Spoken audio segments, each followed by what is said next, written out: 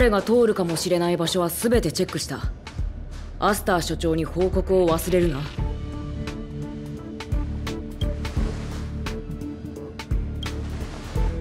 ベース部分以外の問題の後で処理するとして。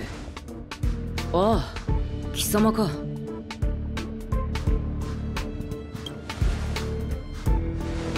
すまない。こんなところを見せてしまって。緊急の要請があってな。様が来る前に処理を終わらせるつもりだったんだが。この話はやめよう。ほらこれをやる。朝に作ってずっと保温しておいたんだ。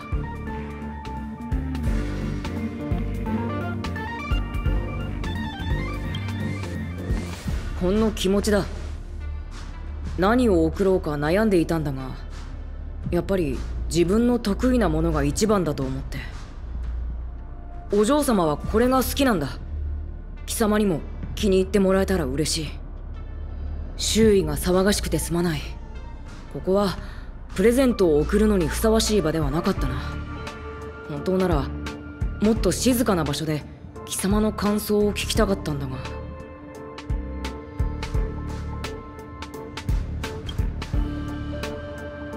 うん。この料理は自信作なんだ。ただ残念なことに最後は少し急ぎ足になってしまった。今日ある大物から突然宇宙ステーションを訪問したいと申し出があったんだ。あまりにも唐突だったからみんな少し慌てている。しっかり接待しなければミス・ヘルタのイメージを損ねてしまうからな。アスターお嬢様が客人はミス・ヘルタの学術仲間だとおっしゃっていた。彼女と渡り合えるなんて銀河の中でも実力がある人物に違いない。もう時間だ。そろそろ客人が到着する頃だろう。貴様も興味があるならあの人並みについていくといい。俺とお嬢様は後から合流する。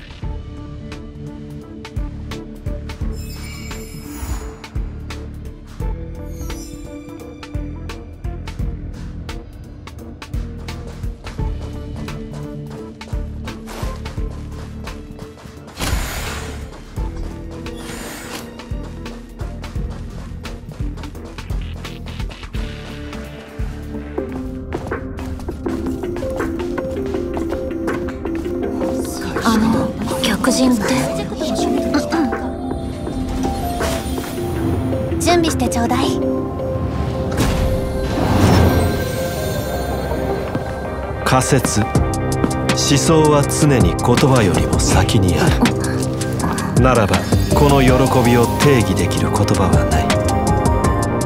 お会いできて光栄です。アスターさん。申し訳ありません。予定より4分13秒も早く到着してしまいました。ご迷惑でなければ良いのですが。とんでもありません。スクリューガム様。ようこそ。宇宙ステーションヘルタへ。そんなにかしこまる必要はありませんよアスターさん。様など使わなくとも結構です。ヘルタは知識が集結する場所。ここでは思想の平等を賛美しましょう。有機生命体の協力は実に奇妙で効率的だ。あなた方が宇宙ステーションを再建するスピードは私の推測よりもはるかに速い。ありがとうございます。スクリューガムさん。よろしければこのまま宇宙ステーションをご案内しましょうか？前回のサミットの後シリコンベースマトリックスに基づくいくつかの新しい研究プロジェクトを立ち上げたんです。ぜひ案内していただきたい。と言いたいところなのですがヘルタさんとの約束がありますのでそのサプライズは後で堪能させてください。ミス・ヘルタは彼女のオフィスにいるはずです。どうぞこちらへ。ご案内します。はい。こちらの方は？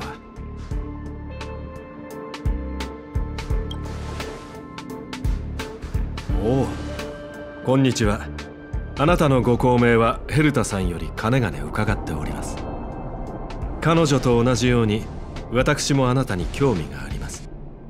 性格と共に生きるというのはどのような感覚なのでしょう。これから先お互いを理解し合いこの疑問の答えを見つける時間があると良いのですが。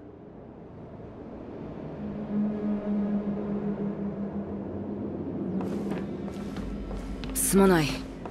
本当は貴様を案内しようと思っていたんだが少し厳しそうだ。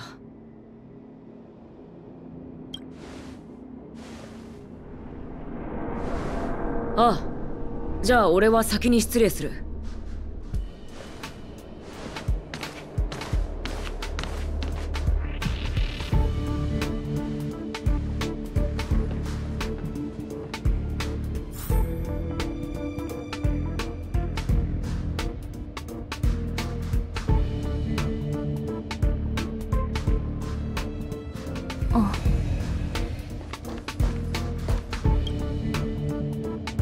かしいですね。この辺にあるはずなのに。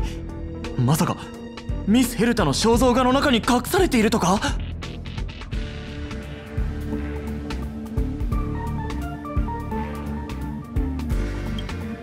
おや僕に何か用ですか？フロントならここを出てまっすぐ行ったところに。待ってください。あなたのことは知っています。さっきアーランさんとお話しされているところを見ました。あなたがミス・ヘルタが注目していると噂の新顔なんでしょ先に自己紹介をしておきましょう。僕はレオナード。この宇宙ステーションのネットセキュリティエンジニアです。知っているかと思いますがつい最近ここは反物質レギオンの襲撃に遭いました。あの騒動で各部分のメイン制御システムもダウンしてしまったんです。現在宇宙ステーションは復興の最中。僕の役割は各設備を修復してここのネットセキュリティを復旧させることなのですが。復旧作業の過程で複数の異常が見つかりまして訪問ログを調べたところメイン制御システムがダウンしていた間レギオン以外の第三者が侵入していたことが分かったんです。見た目に関しては分かりません。正確に言えばこれから調査しようと思っていたところです。僕たちは性格ハンターではないかと疑っています。彼らは危険な集団で神出鬼没。カンパニーが指名手配していることでも有名ですから。中にはパンクロード生まれのスーパーハッカーもいるそうです。情けない話ですがすでに彼女には一度してやられているんですよね。この前調査の過程で彼女の足取りを掴んだんです。手がかりをたどって相手の動向を探るつもり。だったのに逆に彼女の罠にはまって返り討ちにあってしまって。その後どうなったと思いますか？彼女は僕のデバイスをハッキングしてたくさんの人にスパムメッセージを送った挙句宇宙ステーション全体を相手取ったゲームを開催してみんなにレオナードという間抜けがやらかしたと言いふらしたんです。はあは事態も収集していますしこの話はやめましょう。当時は責任を追及されることも覚悟していましたがミス・ヘルタは寛大にも調査を続けることを許してくださいました。まさに不幸中の幸いというやつですね。ありがとうございます。まあ僕も予想していなかったんですけどね。本来であれば宇宙ステーションの業務はアスター所長が手配するのでミス・ヘルタが直々に指示を出すところは初めて見ました。とにかく上長から与えられたチャンスを無下にするわけにはいきません。功績を上げれば名誉挽回できる可能性だってありますし。なので今回は宇宙ステーションの内部から手をつけることにしました。侵入者の移動経路を復元する手がかりを見つけられればこれまで見逃していたことを発見できるかもしれません。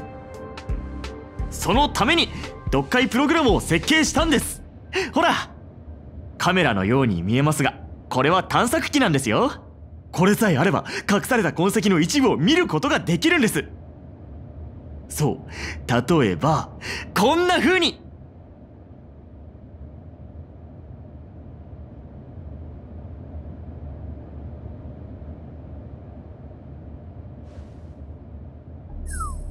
おっとこれは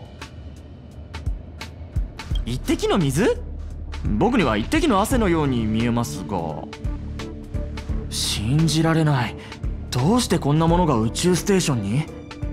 いくらスタッフたちに考えがあったとしても壁に落書きをするとは思えません。ましてや一滴の汗なんて。これが僕たちの探している怪しい痕跡なのでしょうか？予想していたものとは少し違いますが。うー。ん少し考える時間をください。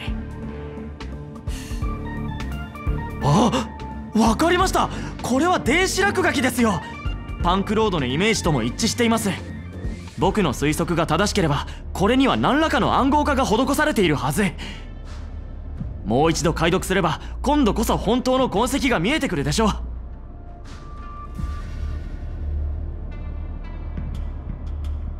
そそれは難しい質問ですね。会話が自然に進みすぎてすっかり忘れていました。えっとその最近はストレスが溜まっていて無意識に仲間が欲しいと思っていたのかもしれません。それにもし本当に性格ハンターに関する手がかりを見つけられたらあなたの役にも立つでしょ？とにかく僕を助けると思って手を貸してください。そんなに時間は取らせませんから。ほら早く壁の落書きにピントを合わせてみましょう。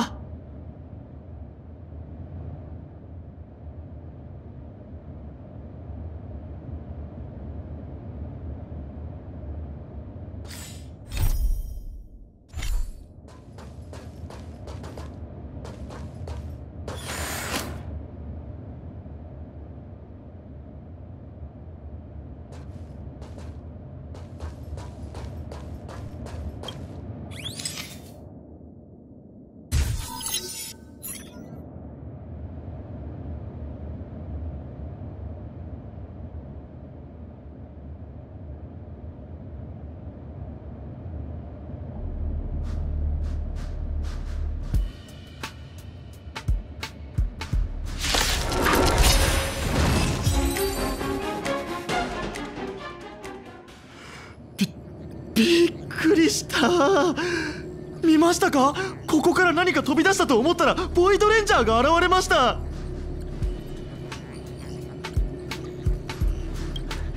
でも見てください。僕が推測した通りこの落書きは暗号化されていました。解読すれば隠された情報を見ることができます。監視システムに彼女の姿が映っていますね。カンパニーの指名手配写真と相違ありません。何をしているのか見てみましょう。これは転送ビーコン？あなるほど。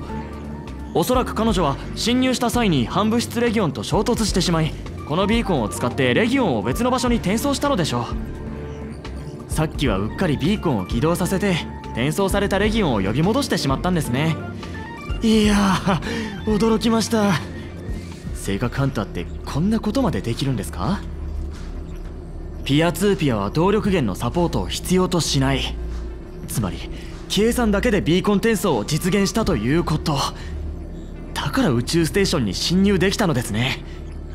この能力の高さミス・ヘルトのオフィスも安全とは言えないかもしれません。落ち込まずにはいられませんよ。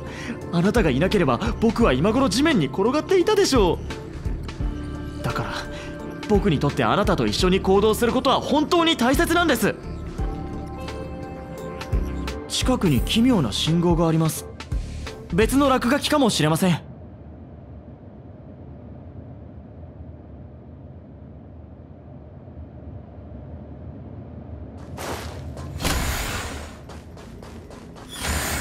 ほら前に。クエスチョンマークまでつけるなんて完全に僕たちをからかっていますね。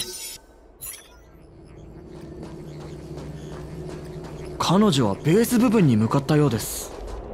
まあ当然かもしあれ？消えてしまいました。解読したのに途切れ途切れになっていますね。ここでしばらく立ち止まっていたのかもしれません。周囲を探してみましょう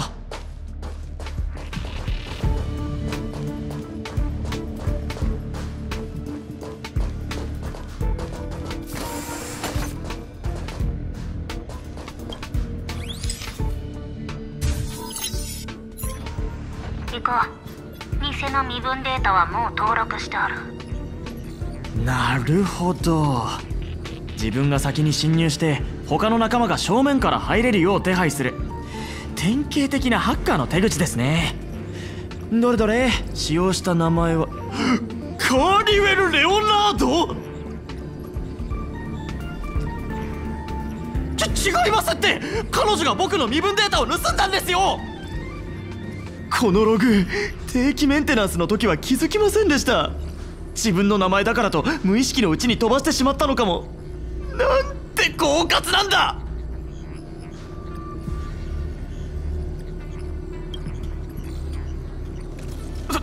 少し気を抜いただけですよ。普通なら自分の名前を入念に確認したりしないでしょ？ほら僕に非があるとは思いませんよね。ね今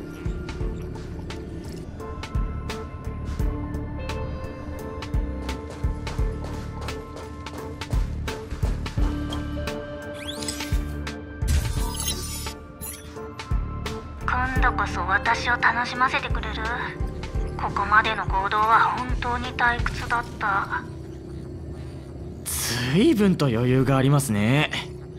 器物のリストを見ているのでしょうか。この様子だとしばらくの間この部屋に留まっていたようですね。誰かを待っていたのかもしれません。それから何が起きたのかはわからないので他の場所も探してみましょう。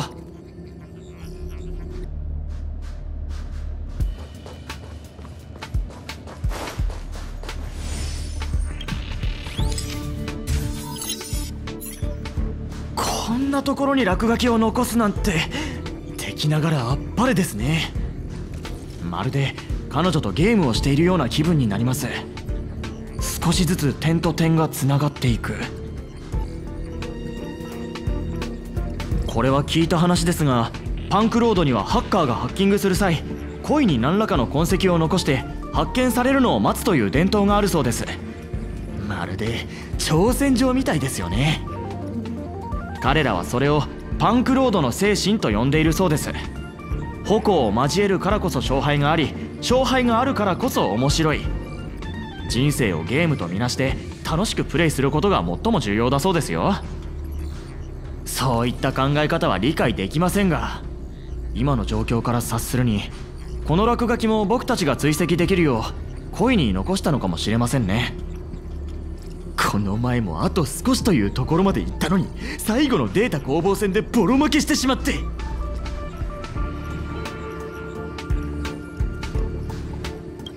っそれは言わないでください。もう過去の失敗を引きずったりしません。気合を入れて今やるべきことをやりましょう。あ彼女が先に進むようです。早く後を追いましょう。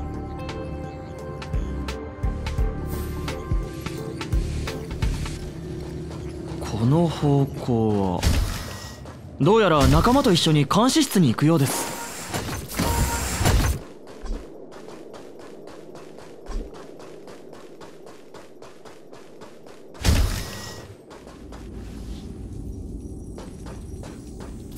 また落書き。一つとして同じ落書きがないなんて本当に芸が細かいですね。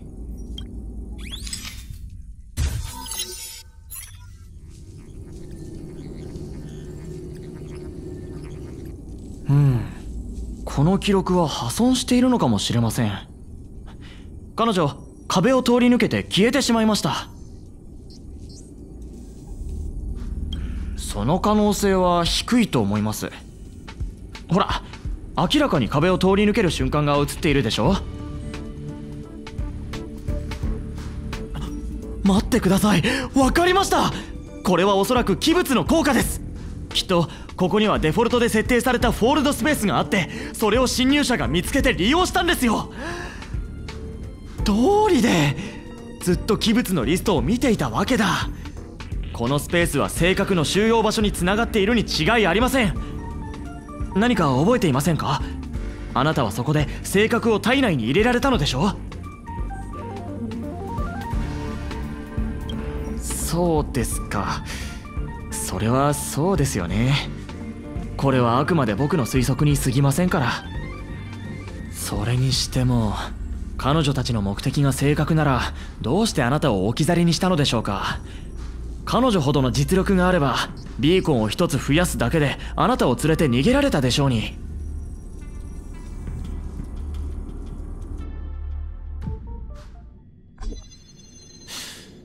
おやここには落書きがない。困りましたね。手がかりが途切れてしまいました。どうにも理解できません。彼女は本当に何もせずにここを去ったのでしょうか。遠路はるばるやってきて何も持ち出さないどころか何も残さないなんて。性格ハンターってこんなにスマートなんですか？ああいえ彼女たちはあなたを置いていったんでしたね。その少し変に聞こえるかもしれませんが僕が言いたいのは見知らぬ場所で目を覚ますのはきっと辛いでしょうということです。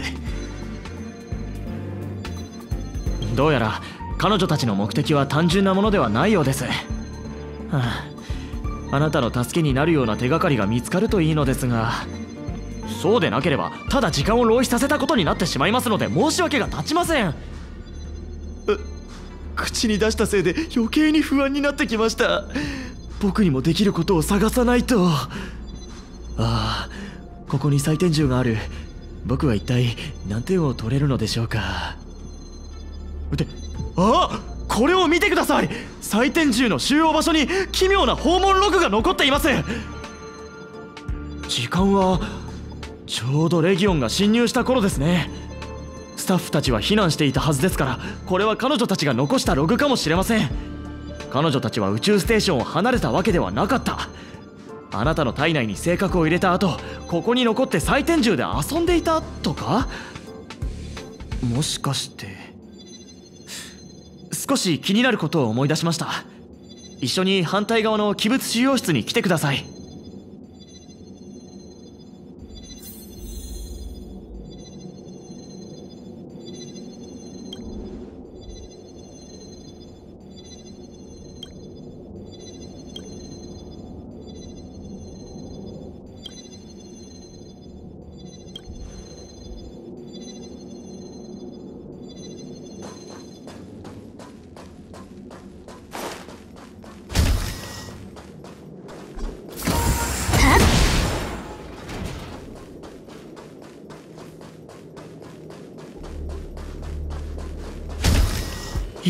ぱり彼女はここに来ています。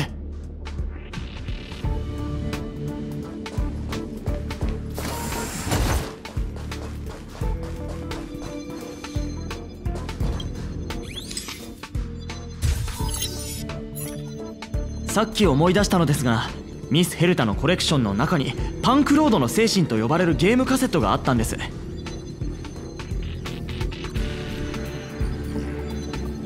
ふむあなたも思い当たる節があるようですね。実はそのカセットは行方不明の器物のリストに入っているんですよ。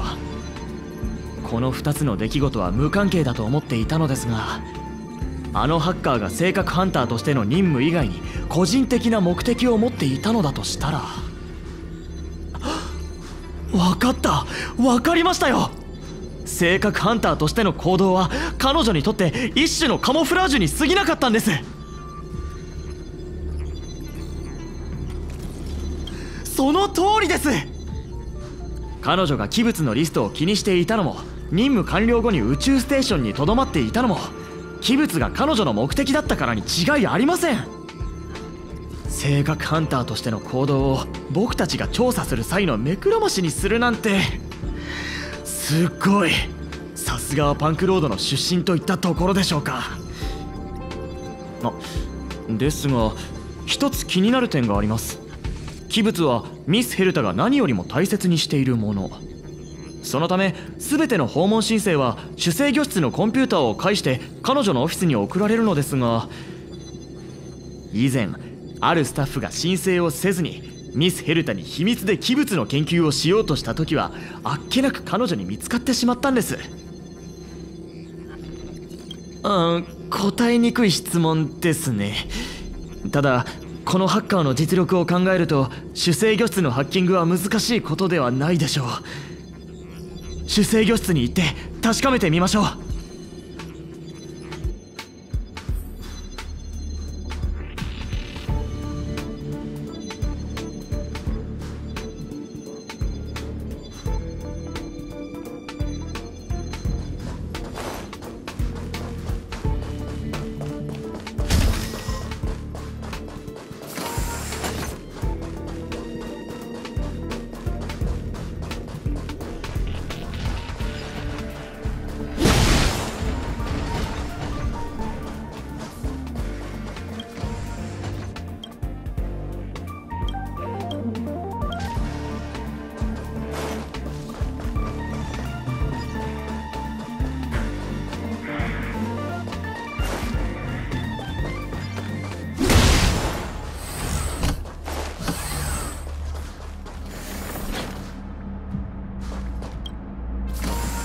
待って動かないでください。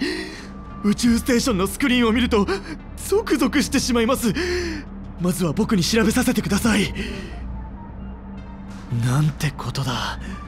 訪問ログだけでなく全ての端末の通信が遮断されています。以前はレギオンの仕業だと思っていたのですが。まずはやるべきことをやりましょう。でも少し変ですね。彼女は端末の通信を一時的に遮断したのにローカルデータには手を触れていないようです。全く理解できません。性格ハンターなのに性格を持っていかない。ハッカーなのにローカルデータを消さない？おや？ここに外部インターフェースがありますね。念のために調べてみましょうか。大丈夫。僕こういうの得意なんですよ。このプロトコルを見てください。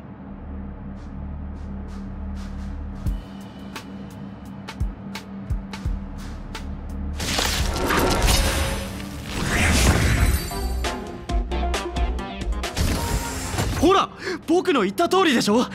あのハッカーが残したローカルデータにはやっぱり何か仕込まれていた。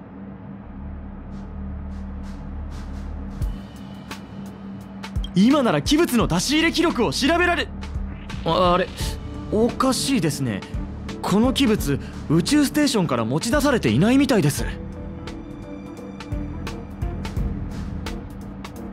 えっと結論から言えばそうなりますね。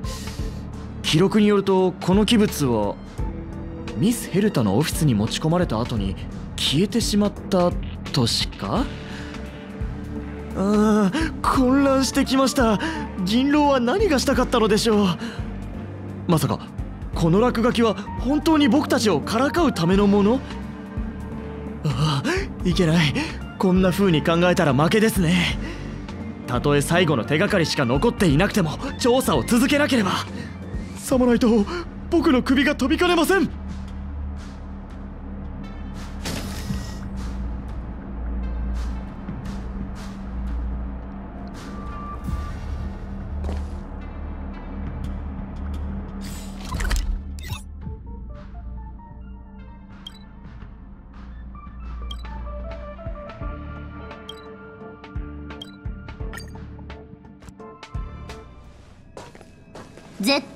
ダメ。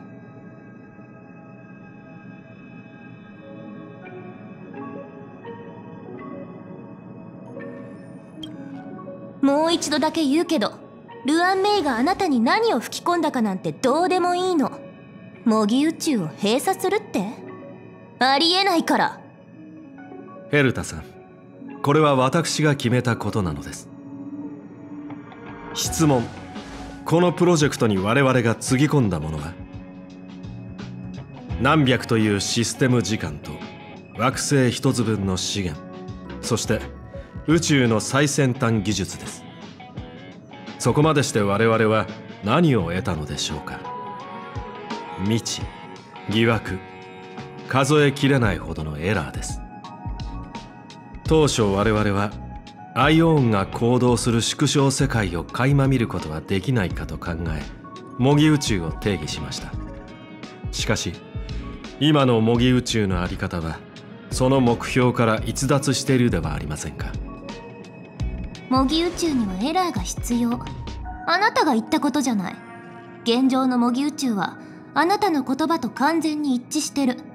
何が不満なの？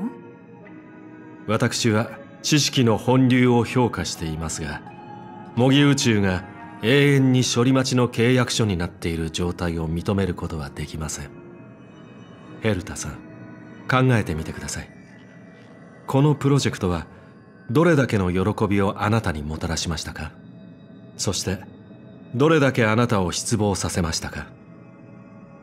模擬宇宙は私を失望させたことなんてない。私を失望させているのはあなたでしょ？自分が偉いとでも思ってるの？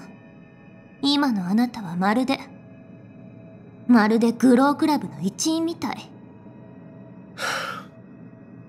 ヘルタさん私はあなたに疑問を抱いているわけでもなければあなたが模擬宇宙のためにしてきた努力を否定するつもりもありません。ただ知識やインスピレーションが自由に育つ空間を与えたいだけなのです。もういい。やりたくないならやめればいい。自分で残りの2人に話をつけてきて。あああなたの技術も一緒に持って行ってね。別に惜しいものじゃないから。私はエイドリアン・テイラーやイプシロンの赤鼻の老人を探すことにする。博識学会に声をかけたっていい。少なくとも彼らは途中で投げ出したりしない。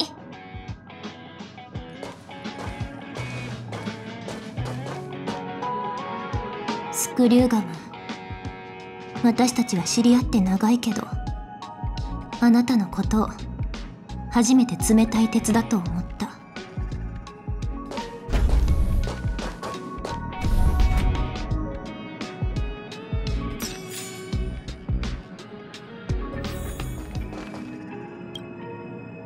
申し訳ありません。お恥ずかしいところを見せてしまいましたね。事の発端は私が一方的に学術協力を打ち切りたいと申し出たのです。誤解しないでください。私は彼女やプロジェクトに異論があるわけではありません。模擬宇宙は偉大な実験でありヘルタさんは紛れもない天才です。しかしながら長期にわたる研究の過程で意見が食い違うことが増えましてね。意見の相違は往々にして変質を生み知識形成の妨げになることもある。諸子を離れてしまった協力関係ならやめるべきでしょう。感情面ではヘルタさんを信じたいと思っていますが客観的に考えるとこの関係は終わらせなければならないのです。彼女の精神状態が心配ですか？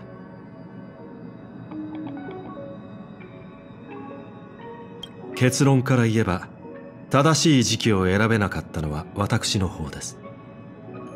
有機生命体の感情は潮の満ち引きのようなもの。それを見極められなかった私が悪いのです。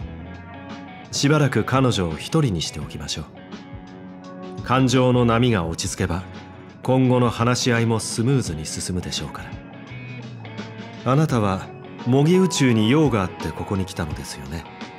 それでしたら私でも助けになれると思います。なるほど。検索。密林の奥のかがり火。星々を指す孤独な石鹸。パンクロードの精神。友よ。それは普通の器物ではありません。それはとある巡回レンジャーが宇宙に向けて書いたラブレターです。あなたはパンクロードについてどのくらい知っていますか？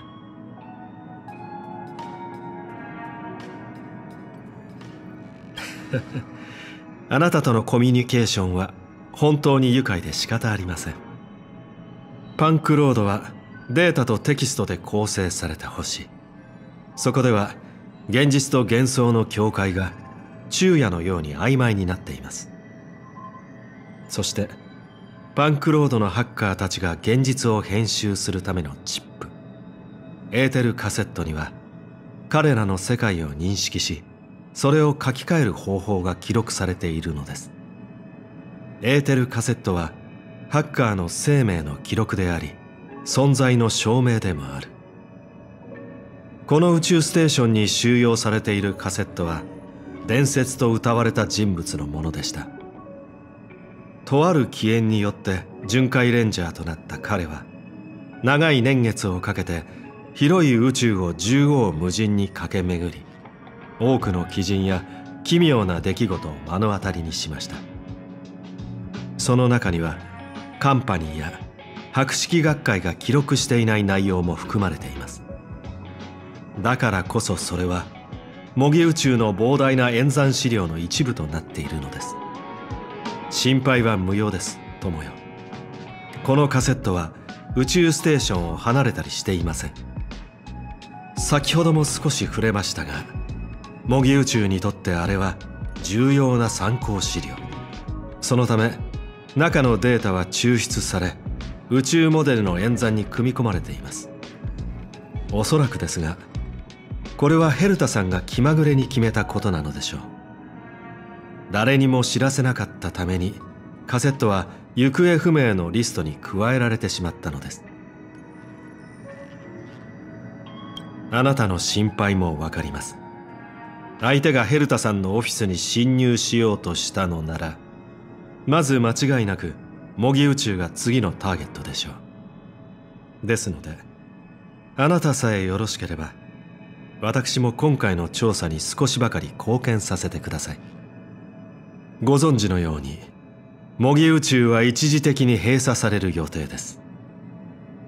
私とヘルタさんが明確な結論を導き出すまでその閉鎖は続き再起動されることはありません。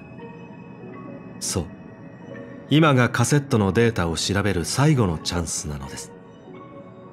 私は模擬宇宙における自身の得意性を生かしてあなた方にできる限りのサポートを提供しましょう。これは模擬宇宙を一方的に閉鎖することに対する謝罪の意でもあります。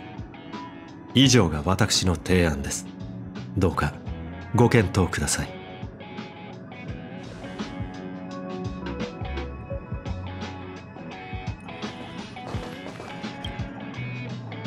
準備はいいですか？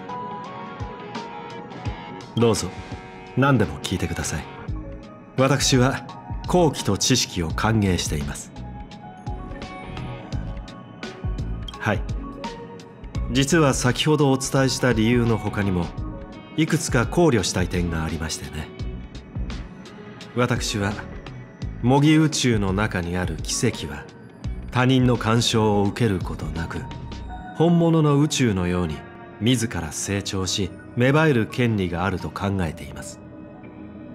ヘルタさんが精力的に資料の限りを尽くせば尽くすほど模擬宇宙は彼女が望むものから遠ざかってしまうでしょう。結論。日々の積み重ねが彼女の才能をすり減らしている。そんな状態にある親友を私は解放したいのです。ただしこれらは私の個人的見解に過ぎません。ヘルタさんに関してあなた方には自分なりの判断を下していただきたい。天秤を持ち歩く人々のことです。彼らは宇宙における公正な正義は個人の行動によって広められなければならないと固く信じています。それは私の演繹の中で巡回レンジャーを最も的確に表現する言葉です。彼らは歌とラッパとともに遵守の運命を歩んでいます。そして途中で出会った個人や集団に美酒と詩を捧げるのですよ。しかしどんな物語にも終わりはあるもの。彼らははるか昔にスポットライトの下から姿を消しました。パンクロードには疲れを知らない生命が存在していて真理のへその緒に触れようと試みています。彼らは星の言語思想そして感情を無機生命体にも理解できるテキストにしました。蝶やクジラそれからあなたもデータの海の中では生命は一つの形式しかありません。テキストの長さの違いによって記述の輪郭を定義しているのです。私の心の中では常にそのようなイメージですよ。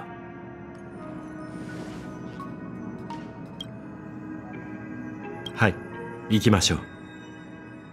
今回は通常とは異なる方法であなたを模擬宇宙に送り込むのでいつもとは違う感覚がするかもしれません。これにより我々は模擬宇宙の膨大なデータの中から素早くカセットの位置を特定することができます。このデータリンクから始めましょう。意識を潜らせる準備をしてください。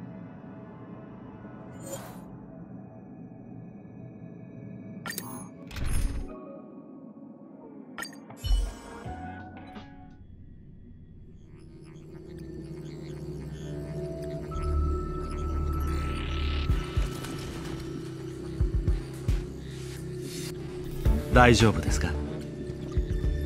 現在あなたはエーテルカセットがあるデータリンクの中にいます。周囲を確認して何か発見があれば教えてください。ハッカーですか？うん。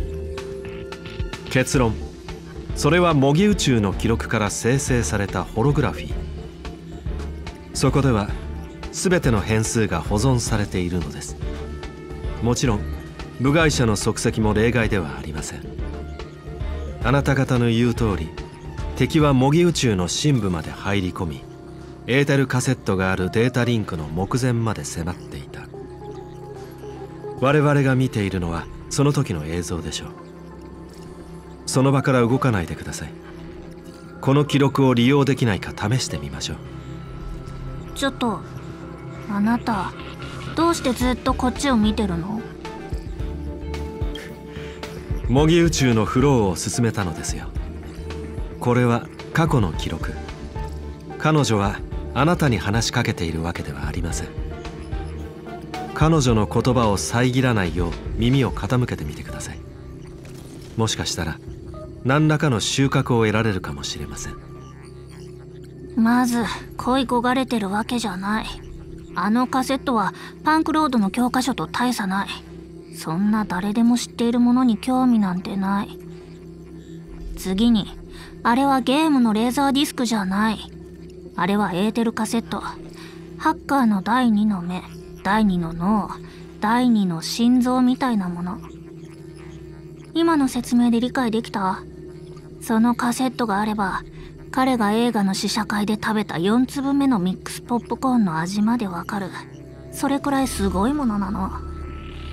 最後にもう一度言っておくけど私はカセットに恋焦がれてるわけじゃない。こうして長々と話してるのはカセットの凄さを説明するため。分かった？カフカ。じゃあ先に進もう。少し急いだ方がいい。ここはさっきまでいた宇宙ステーションと違って正真正銘天才クラブのテリトリーだから。今の会話から察するに模擬宇宙に侵入したのは2人だったようですね。ハッカーと彼女の仲間。実に興味深い。次は何が起こるのか確かめてみましょう。あなたを同行者の視点に組み込みました。この状態なら彼女もあなたの行動に反応を示すでしょう。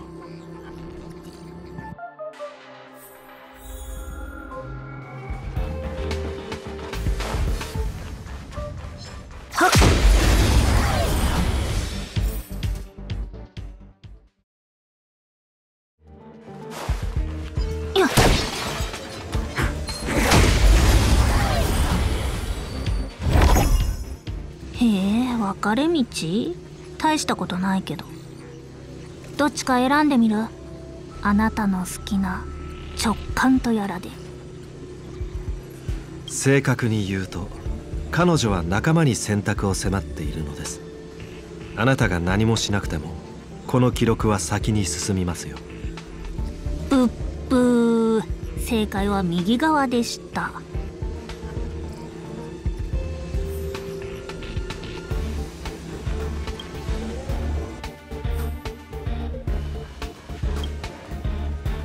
まずい。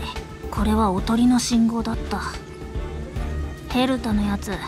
こんなものを模擬宇宙に設置するなんて。自分が資料を探す時に面倒だと思わないわけ。まあいいや。これは私の計算ミス。セクターを変えて試してみよう。うん。彼女は正しい道を進んでいます。ただまだ道の途中にいるだけ。しばらくすれば彼女もそのことに気がつくでしょう。そう願いたいところですが客観的に見ても彼女は必ず気づくでしょう。性格ハンター銀狼。彼女とは過去に一戦を交えたことがあるのです。その場にはヘルタさんもいましたので彼女から何か聞いているかもしれませんね。私に言わせればあれは勝利ではありません。あれは勝負というより敵情視察に近かったと記憶しています。彼女が攻め私は守り勝負がつかないまま双方とも相手の出方を伺っていた。彼女は開先緩急の防御を突破できず私も彼女が立ち去るのを止められなかった。今日このような形で再会するとは思ってもみませんでした。前回の戦いの続きがもうすぐ始まるでしょう。なんだ。やっぱりこの道が正しかった。ヘルタのやつ。心理戦なんかするんだ。どうやら先に進むことができそうですね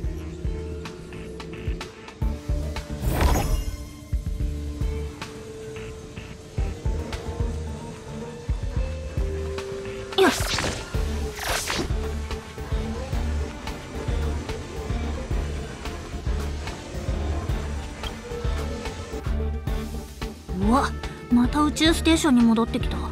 それにこれって謎解き？スキップしちゃう。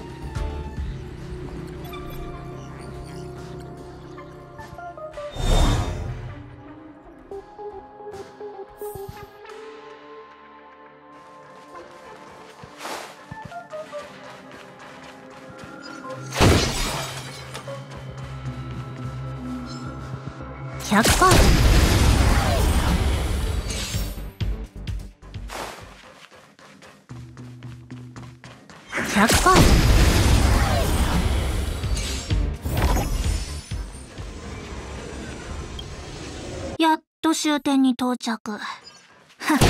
こんなところにミニヘルタがいる。もしかしなくても、ヘルタってナルシスト？宇宙ステーションの至る所に彼女がいる。肖像画、彫刻、それに大量の投影まで。彼女の顔にヒゲでも描いてあげようかと思ったのに落書きができない変なの宇宙ステーションの防御はペラペラなのにどうして彼女の写真だけ厳重に管理されてるわけ？エレベーターホールの肖像画のことでしょうね。ヘルタさんから暗号化ツールの設計を依頼されたことがあったのできっとそれが使われているのでしょう。はい。エーテルカセットは次の部屋にあります。我々の追跡もそろそろ終わりそうですね。ええ。今回の追跡を始めた時からこの違和感はつきまとっていました。彼女は確かに性格のためにやってきましたが器物に対して強い関心を示していた。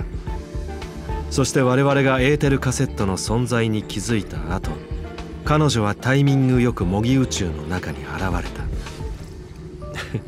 我々が彼女を追跡しているのではなく彼女が我々の進路に現れているかのようだ。とある話を思い出しました。パンクロードにおいて落書きは特別なシンボルだと言われているそうです。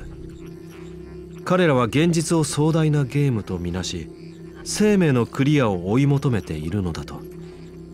勝負のためにあるいは喜びのために彼らは訪れた場所に自分の印を残していく。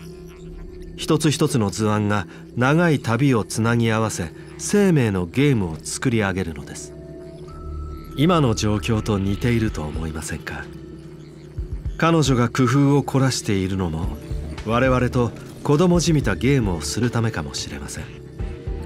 最後まで彼女に付き合ってあげましょう。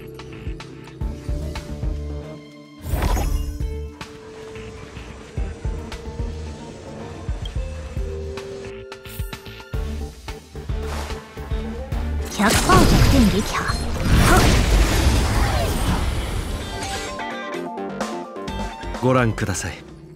ついご覧ください。ついに見つけました。エーテルカセットは無傷でここに存在しています。それはもちろんこの状況にそぐわない第三者がいるからでしょうね。私たちが見ている銀狼が過去の映像だとすると彼女はここにたどり着けなかったはずです。そうでなければカセットが無事であるはずがありません。つまり仮説と事実が矛盾しているということです。私が思うに彼女はヘルタさんのオフィスに侵入したものの長くとどまったりはしなかったのでしょう。模擬宇宙の膨大なデータが相手ではどれほど優秀なハッカーであっても短時間でターゲットを見つけることは不可能。ただしただし優秀なガイドがいる場合を除いて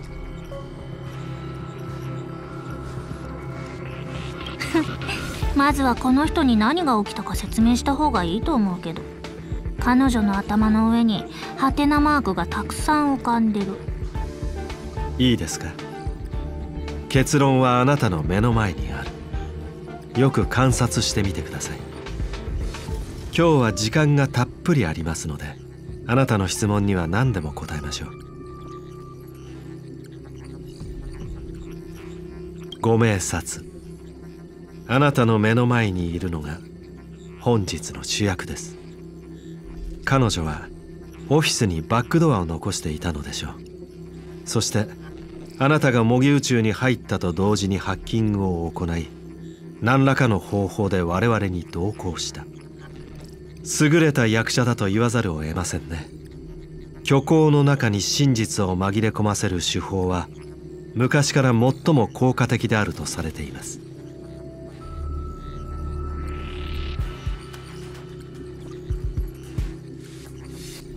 落書きはデータの双方向通信路のようなものだと思ってください。あなた方は彼女の残した痕跡をたどることができる。そして彼女は落書きの消失であなた方の進路を監視できるというわけです。おそらく宇宙ステーションに侵入した時にはすでに今回の計画を練っていたのでしょう。落書きを配置したのもバックドアを残したのもチャンスが訪れるのを待つためだったのです。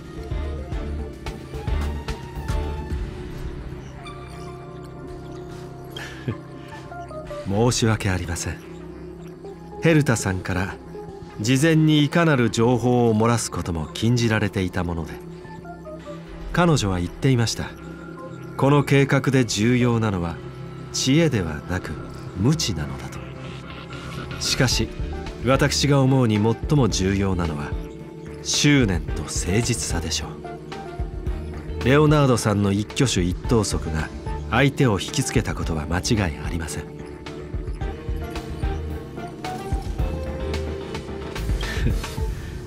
それでこたびの模擬宇宙の旅はご満足いただけましたか？ミス銀狼ふん。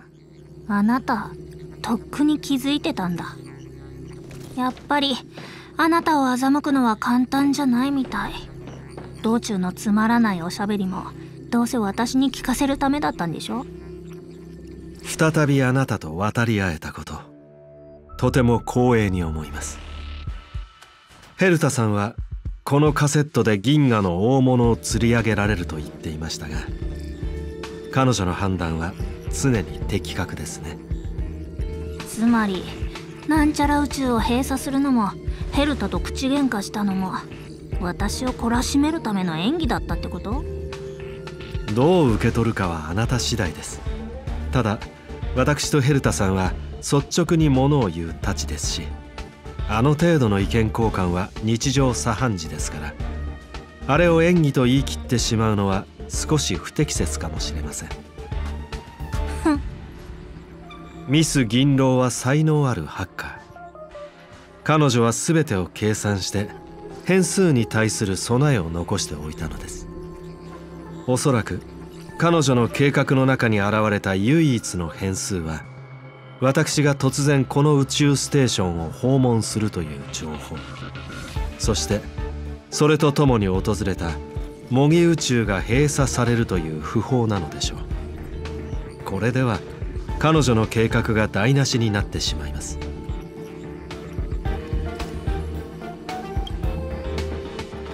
これで今回の事件の全貌が明らかになりました。全貌？違う。あなたは一番大事なところを誤解してる。私は冒険せざるを得なかったんじゃなくて自分から望んで冒険したの。スクリューガム。あなたが現れた瞬間私がどれだけ興奮したかわかる。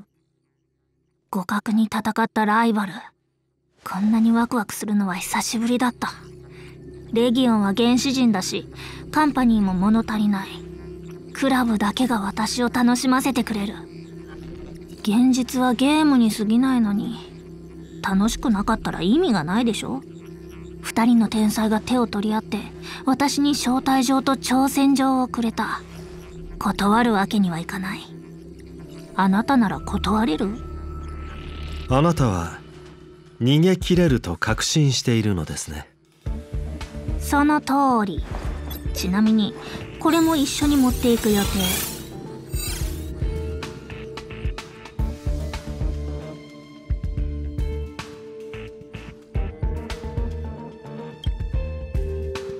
ほう？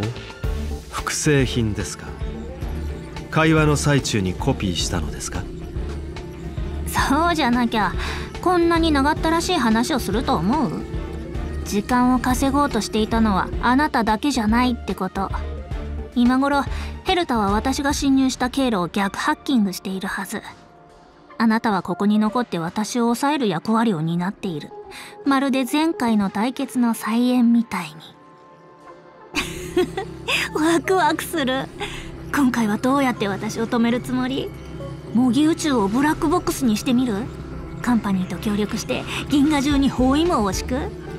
スクリューガム今度こそあなたの本気を見せてくれる。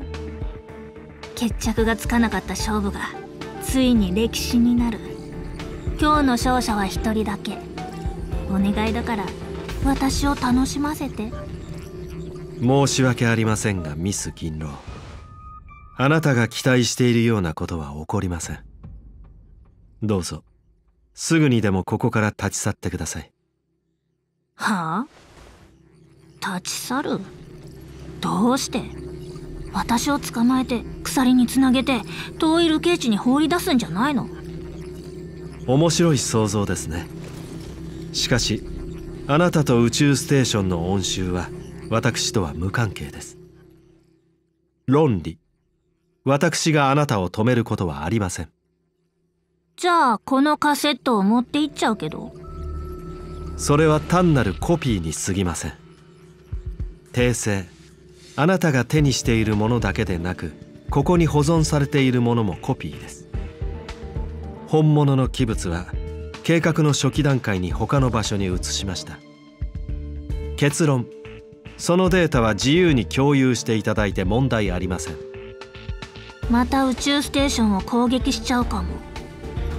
私には関係のないことですしかしきっとあなたを阻止する人が現れるでしょう。じゃあ私が今ここで模擬宇宙を破壊したら？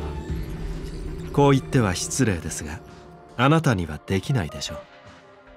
エーテル編集も万能ではありませんので宇宙を破壊するのは不可能です。何これ？あなたたちわざわざ罠を仕掛けておいて本当に何もしないつもり？はい。これであなたが一生懸命準備したゲームはあと一歩というところで台無しになった。そうでしょ？プレイする面白みがなければゲームに意味はありません。銀狼あなたの要求は分かっています。カンパニーの枷ではあなたを拘束することはできない。そしてあなたにとっては監獄すらゲームのステージに過ぎません。あなたの要求には屈しない。これが私とヘルタさんが至った共通認識です。本当につまらない。しかしヘルタさんはそれでは甘すぎると考え少し工程を増やしたようです。例えば今この瞬間彼女は逆ハッキングを行いあなたが所有する青函ネットワークのアカウントを特定しました。計76個。すごい数ですね。これらのアカウントをカンパニーに凍結してもらうのはどうでしょう？もちろん連携しているゲームのデータも一緒に。マ言ってるの？ちょっと待って。退出してしまいましたせっかちな方ですね。子供にとってのゲームは楽しいもの。しかし大人にとっては楽しいだけでなく問題を解決する手段としても使えるのですよ。さあ我々もここを離れましょう。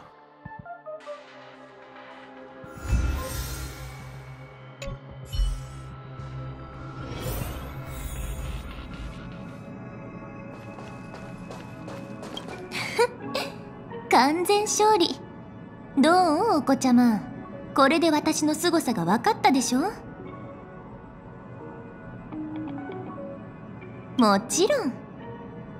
宇宙ステーションのことはどうでもいいけど私に喧嘩を売る人には100倍にして返さないと。もうカンパニーにあいつのアカウントを全部凍結してもらったんだ。あの小娘今頃パソコンを抱えて泣いてるかもね。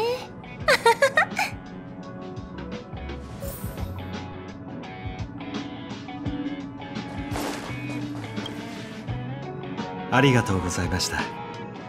今回の勝利はあなたとレオナードさんがいなければ実現しなかったでしょう。今回の件について他に質問はありますか？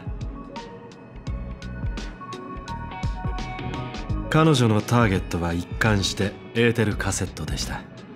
ただその過程で私とヘルタさんに勝ちたいという思いが生まれたのでしょう。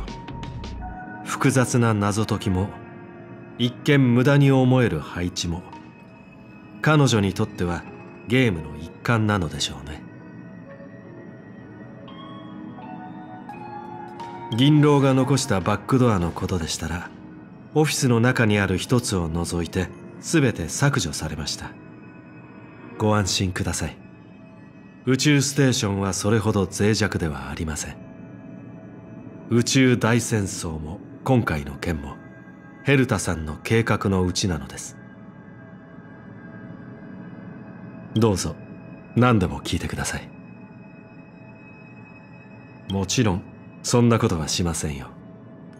私とヘルタさんは研鑽の方向性こそ異なりますが模擬宇宙が我々の共通したテーマであることは紛れもない事実ですからしばらくは宇宙ステーションに滞在し新しい宇宙の分岐がどのような驚きをもたらすのか間近で見ていようと思います。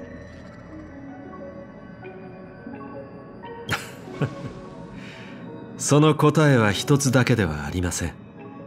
宇宙は人によって全く異なる意味を持っているのです。感情が交錯する有機生命体にとっては季節が移ろう中の落ち葉あるいは時間によって刻まれた体のシワかもしれません。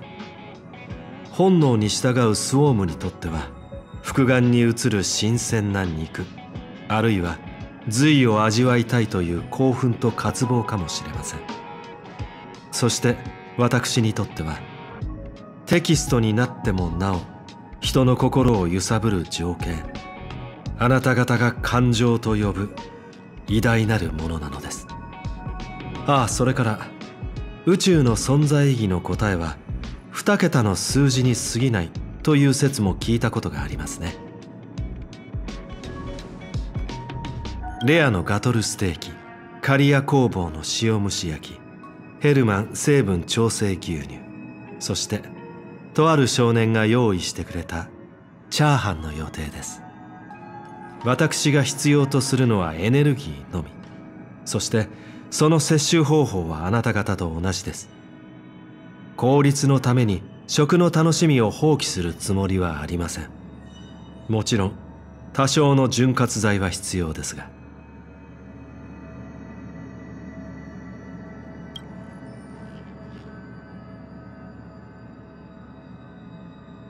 我々の終点は異なるかもしれませんがそれでも無数のレールが交わることはあるでしょう。知識を求めることこそ開拓における最良の助けとなるのです。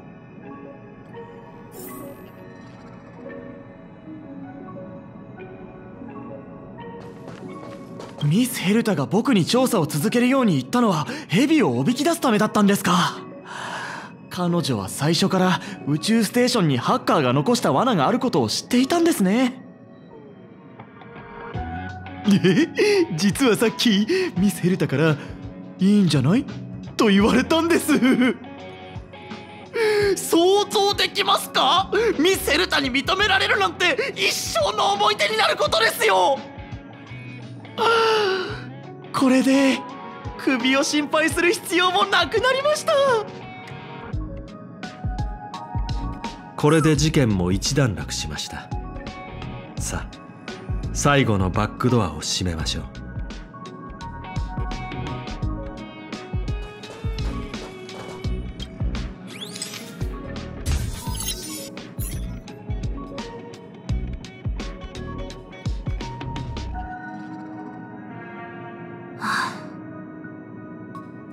なくなった。全部。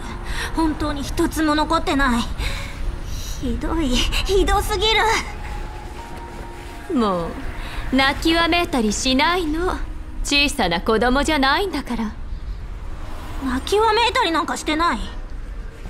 はいはい。それでこれからどうするの？近くのカンパニーの支部をハッキングしてアカウントを取り返す？一つ二つなら簡単だけど今回は数が多すぎる。ほぼ全部やられたから支部じゃダメピアポイントに行かないと。そこはカンパニーの本部よ。君一人で行くつもり？そうだけど。何？一緒に行きたいの？それは無理ね。忘れた？エリオの次の脚本には私が登場するの。ああそうだった。あの脚本は私には向いてない。そっちは頑張って君もピアポイントで楽しめるといいわね。安心して。もう考えがあるの。見て。2km 離れたところに白雲レストランがある。建築材料物流部のアルバイトが入ったばかりだから。まずは彼らとお友達になろうと思って。もう動き始めるの？まずは恋焦がれたカセットを堪能すると思ってたのに言ったでしょ。別に恋焦がれてるわけじゃないって。それにプレイしながら向かえばいい。